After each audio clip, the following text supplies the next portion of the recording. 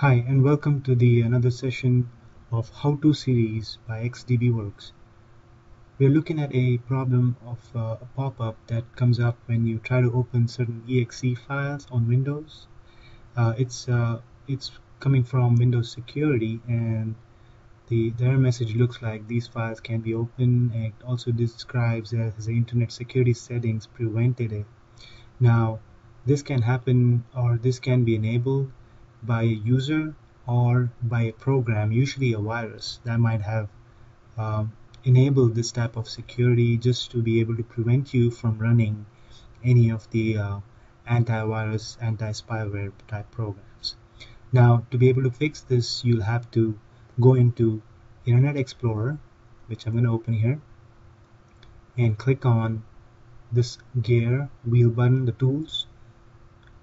Click on Internet Options click on the security tab. Make sure on the you're on the internet zone and click on custom level. Now I'm gonna scroll down to where you find miscellaneous options and under miscellaneous options you'll see a place where you should see launching applications and unsaved files. It you know you'll see it on disable you click prompt. I wouldn't recommend enable because that's not secure obviously but if you click on prompt and you click OK it's gonna ask you to save the changes. Click OK and you close the Internet Explorer.